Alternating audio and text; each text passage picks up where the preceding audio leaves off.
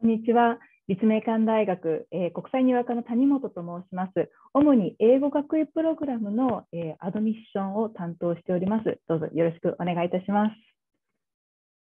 では、画面を、えー、共有をさせていただきます。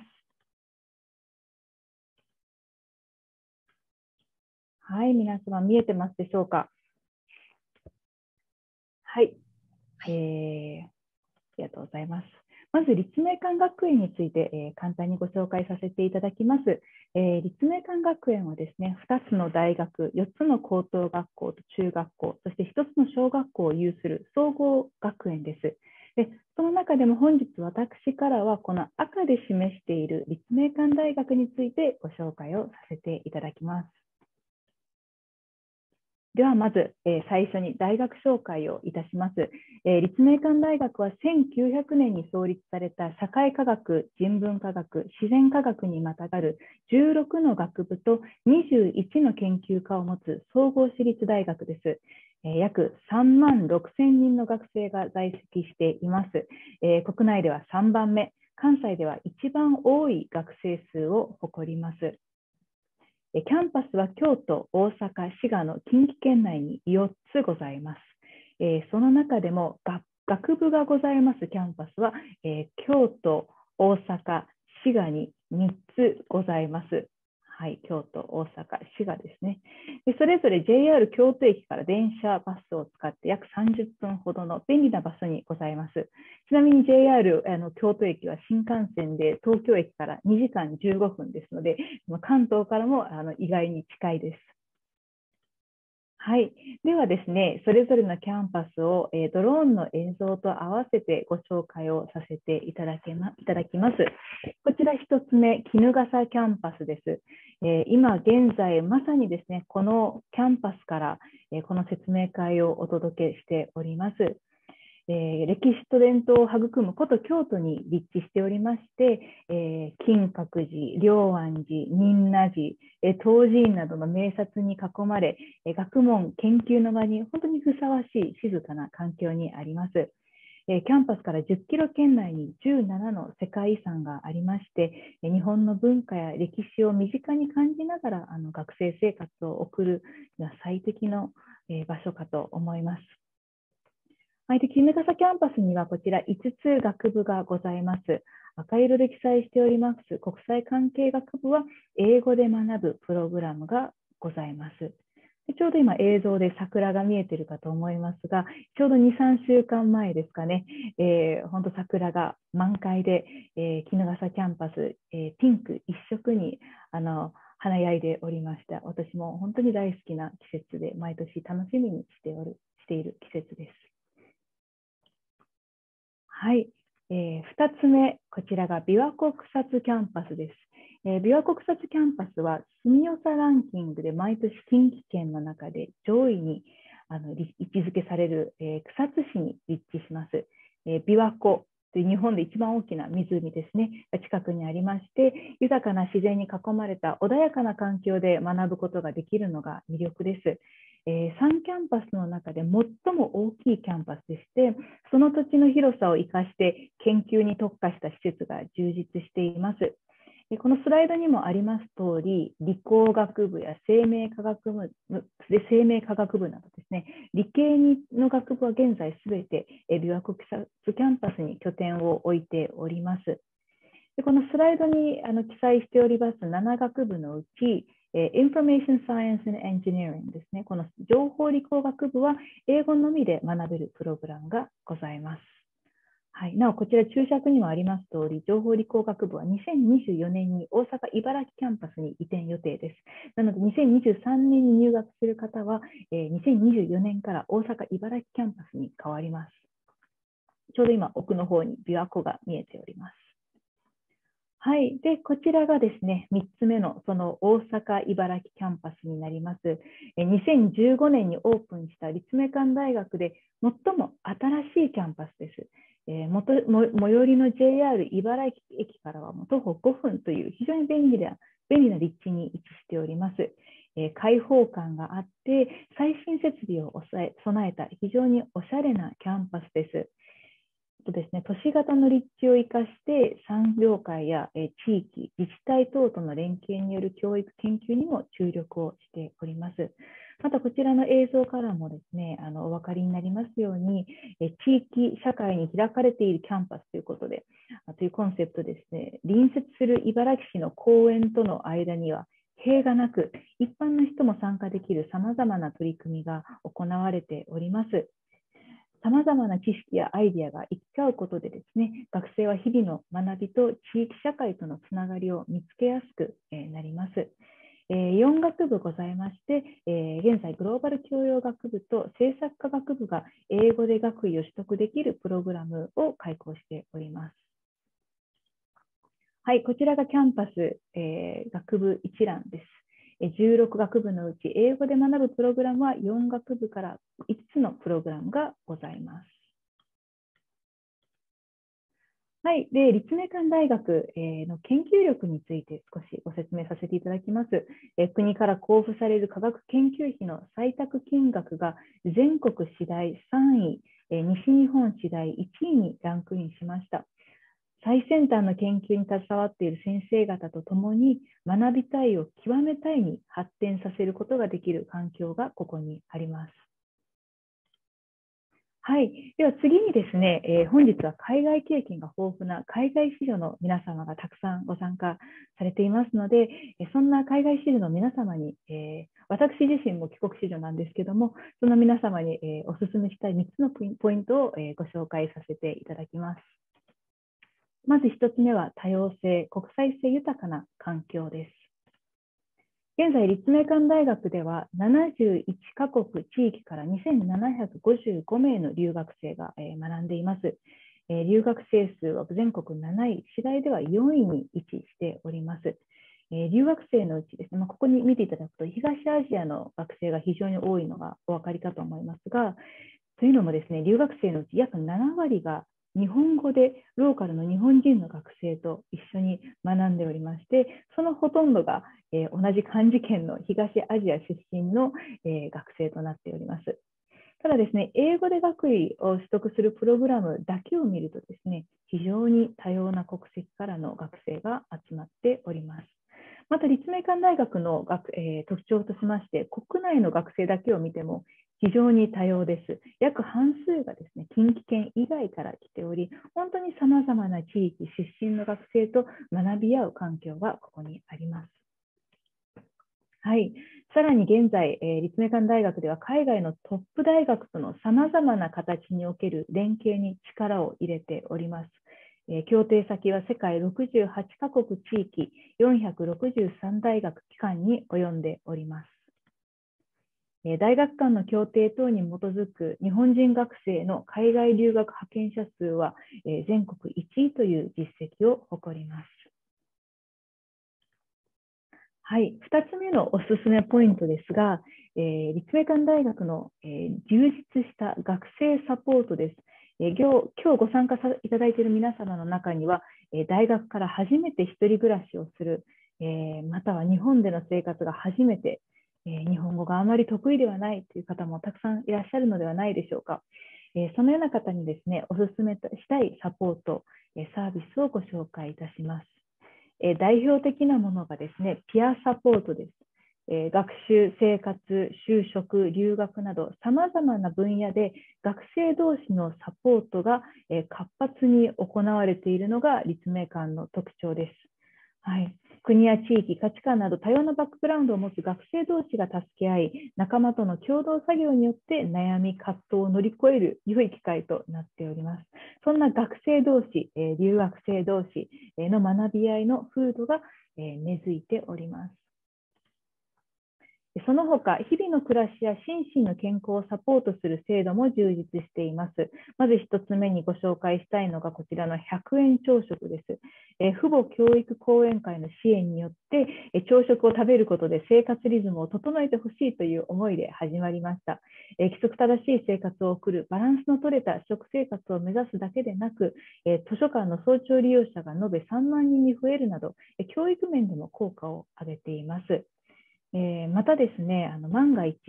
新型コロナウイルスの影響で下宿先での自宅療養や待機が必要となった場合もですね、10日間の緊急食料支援を実施しています。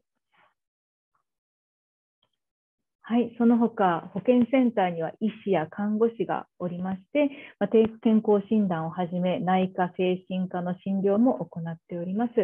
また、大学生活のあらゆる悩みや困りごとの相談、サポートも行っています。え日本に住んだことがない方や、一人暮らしの方がが初めてという方も安心して、え学生生活を送ることができます。はい、では最後、3つ目はですね、海外進学と日本進学両方で迷っている方、え、日本にいながら英語で学びたいという方におすすめのプログラムをご紹介いたします。えー、こちらが英語で学位を取得するプログラムの一覧です。えー、プログラムは5つございます。えー、英語学位プログラムを提供している、えー、大学さんはたくさんございますが、その中で立命館大学の英語学位プログラムの最大の特徴はですね、えー、海外の大学海外の大学との共同学位プログラムを設けていることです。それでは、それらのプログラムを2つご紹介させていただきます。まずグローバル教養学部です、えー、最大の特徴は、オーストラリア国立大学と立命館大学の2大学でのデュアルディグリープログラムであるということです。えー、オーストラリア国立大学 ANU、えー、はですね、オーストラリア唯一の国立大学です。QS 世界大学ランキングにおいて、オーストラリアでは1位、世界で27位と上位に位置づけされております。優れた研究力を持ち、オーストラリアの中でもひときわアカデミックな雰囲気を持つ大学です。首都キャンベラに位置することから、政府機関との連携が強く、特に国際政治分野に強みを持ちます。実際ですね、QS の科目別ランキングの政治・国際関係の分野において、ANU は9位にランクインしています。えー、GLA の学生は ANU のこの Coral Bell School of Asia Pacific Affairs の正規生として世界水準の教育、研究環境で学びます。はい、で卒業時には立命館大学より Bachelor of Global Liberal Arts、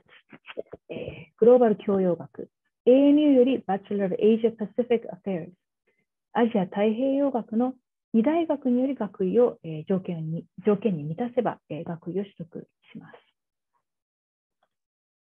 続いて、アメリカン大学、立命館大学国際連携学科のジョイントディグリープログラムです。こちらは日米の2つの大学で編成した1つのカリキュラムを学習し、卒業時には両大学による連名学位グローバル国際関係学が授与されます。京都とアメリカの首都ワシントン DC で2年ずつ学習し、卒業時には両大学による連名学位グローバル国際関係学が授与されます。日本の学位でもありますし、アメリカの学位でもあります。アメリカン大学は国際関係の分野において全米9位にランクインしております。えこちらの学科自体の設立は新しいんですけども、大学間の協定としてはアメリカン大学とはもう25年間にわたって連携しております。えそのためカリキュラム構成やえ就職、学習に関する学習支援は綿密に行っております。最先端の国際関係学はアメリカと日本の2大学の視点から学ぶことができます。以上が共同学位プログラムの紹介でした。え続きまして、本学単独の英語学位プログラムを3つご紹介させていただきます。基本的に4年間、立命館大学で英語で学ぶプログラムです。まずはじめに、こちら、国際関係学部のグローバルスタディ専攻をご紹介させていただきます。えー、国際法、平和学、安全保障、国際人権法、えー、国連などですね、えー、国家間の関係や国際問題を学びたい方に、えおすすめです。え特徴としましては、え日本人と外国人留学生の割合が約半数であるということ、さらにはですね、え国連などの、ま国際機関や、え NGO などの勤務経験がある、え教授陣がえ、たくさん教鞭をた取っているということ、さらにはですね、国際関係学部の中には、日本語で開講されている国際関係学科もございますので、えー、約半数程度の単位をですね、日本語でもあの受講、履修していただけるというのがこちらの特徴になっております。はい、次に、え、政策科学部、Community and Regional Policy Studies Major、CRPS 専攻と呼んでおります。でこちらはですね、自然災害、環境問題、えー、開発といった、まあ、環境開発、ローカルガバナンスや地域格差といった公共政策、さらには高齢化社会といった社会マネジメントについて学びたい方に、えー、おすすめです。この CRPS 選考では、まあ、社会に山積する課社、えー、諸課題の解決のための政策を考える、えー、プログラムとなっております。多様な利害関係の立場を考慮して解決策を提示する必要力が必要なため、えー、こちらでは分離問わず幅広い学問領域にまたがり、高度な専門性を持つ教授陣が教鞭に立っております。また起こっている問題に実際に触れることが重要であると考え、海外を含む現場でのフィールド調査をカリキュラカリキュラムに組み込んでいるのが特徴です。最後に情報理工学部 ISSC コースです。Information System Science and Engineering Course で ISSC ですね。日本の私立大学では数少ない英語で学ぶ理系のプログラムとなっております。ICT、AI、ネットワークセキュリティ、ロボット、データサイエンスなどを学びたい方におすすめです。実践型学習を根幹としておりまして、1年次からプロジェクトに関わります。え現在、これら5つの研究室がございまして、え複数のラボを体験してから所属したい研究室を決めることができるのが特徴です。はい、以上が英語で学位を取得するプログラム 5, つ ,5 つのご紹介でした。えー、なお、入学時期、定員数、学習キャンパスはこちらの表の通りですね、プログラムによって異なりますので、えー、ご留意くださいませ。えー、共同学位課程はあのグローバルコンピテンシーをさらに高め、グローバルな舞台で活躍したい人におすすめです。世界的にも評価の高い大学で学んで学位を収めたことを形として証明できる。将来グローバルな舞台で活躍したい方には国際通用性を高める確固たるものと考えております。なお、5つのプログラムのうち、一定単位数を日本語で取得可能なものは、国際関係学部の GS 専攻と政策科学部の CRPS 専攻です。日本語での履修に挑戦し、専門性を深めたいといった方に、え、こういったプログラムがおすすめです。ご参考までにこちらが立命館大学の英語学位プログラムの卒業生の進路先の一例です。えグローバルに展開する企業だけでなく、世界トップクラスの大学院に進学する学生も多くおります。もちろん立命館全体を見たときにはもっとたくさんの あの進路実績がございます。そちらウェブサイトにもですね、各学部ごとに詳細に掲載しておりますので、ご興味のある方はぜひご覧くださいませ。はい、最後に、えー、入試情報をお伝えさせていただきます。えー、本日はですね、英語で学位を取得するプログラムをご紹介させていただきましたので、そちらの入試について、えー、ご紹介をさせていただきます。入学時期は、えー、4月と9月の2回ございます。4月入学の場合、入試は英語基準入試。こちらは英語だけで全て完結する入試です。その他、栄養選抜入試、帰国制入試、一般選抜の4種類ございます。ただですね、9月入学の場合は、こちらは英語基準入試のみとなっております。え帰国制であっても、海外の高校を卒業される方、日本国内でもインターナショナルスクールなど、日本以外の学年歴で学習されている方は、え9月入学の英語基準入試に出願されるケースが非常に多いです。え2023年度入試情報はまだですね、英語基準入試しか公開されておりませんので、えご参考までにこちら昨年度の入試をもとに入試種別による主な違いをまとめたものになります。えー、ご覧いただいている通り、え入試種別によって対象学部や、えー、出願時期、え出願、え選考方法などが、え異なります。例えばですね、英語要件も入試種別によって、え異なる場合がございます。例えばこの GLA や JDP といった、え共同学位プログラムですけども、え英語要件がですね、英語基準入試の場合は TOEFL IBT が80、85となっておりますが、栄養選抜入試や帰国生入試の場合は68、76と英語要件が多少異なります。なので、まあ、希望する入学時期によって入試種別を選択される方は非常に多いんですけども、えー、その他にもこのように入試種別によって出願要件が異なりますので、その内容を見て入試種別を選択される方もいらっしゃいます。もちろん入試種別を併願される方も多くいらっしゃいます。なお繰り返しになりますが、こちらはあくまで昨年の内容になりますので、詳細な情報は必ず2023年度の入試要項をご確認いただきますようお願いいたします。え入試要項の公開時期ですが、え帰国生入試は5月下旬、栄養選抜入試は6月下旬を予定しております。なお、この AO 選抜入試につきましては、えー、日本語で開講されているプログラムも、え、対象となりますので、日本語のプログラムへのご出願を考えていらっしゃる方は、6月下旬に最新の入試情報をご確認くださいませ。はい、入試情報は、え、こちらの立命館大学入試情報サイトにて公開される予定です。次に、えー、本当のリリースしたての英語基準入試について少し詳しくご紹介させていただきます。先ほども申し上げましたが、こちらは4月入学と9月入学両方、え対象となります。こちらの英語基準入試の特徴は主に3つございまして、1つ目はですね、すべてオンラインで出願が可能であるということですね。もう他の大学さんでもこちらがデフォルトになってきておりますけども、もちろん提出、えー、書類の提出から面接までオンラインで実施いたしますので、初日していただく必要もなければ、えー、出願期間中に書類を郵送いただく必要もございません。で2つ目は日本語要件がないということです。書類等を、えー、日本語で書いていただくご準備なども不要です。3つ目は、えー、複数の出願期間を設けていることです。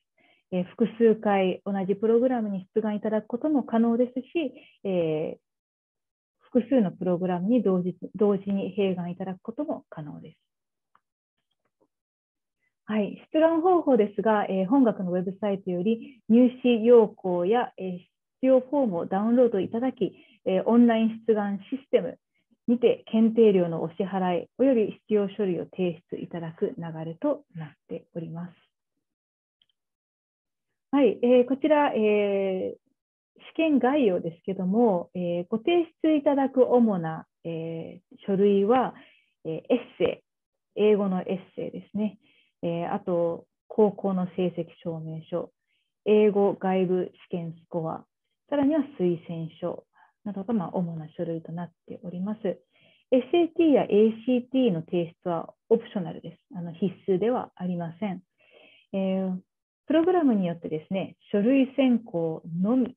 の場合と、もしくは書類選考と面接選考の2段階選考となりますので、えー、詳しくはですね、入試要項アプリケーションハンドブックをご確認いただきますようお願いいたします。